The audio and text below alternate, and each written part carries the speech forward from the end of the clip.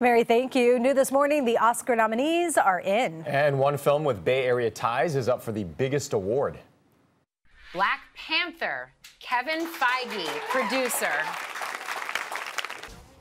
Black Panther becoming the first superhero action movie ever to be nominated for Best Picture.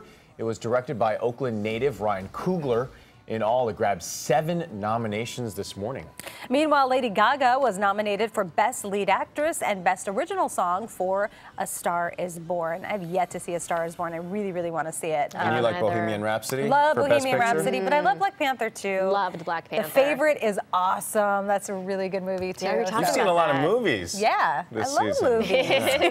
we need to catch up. Mary, have you Yeah. seen any of the, Uh, the ones just nominated? Black Panther. Black Panther. And I love that one. Okay. It's a very good one. Well,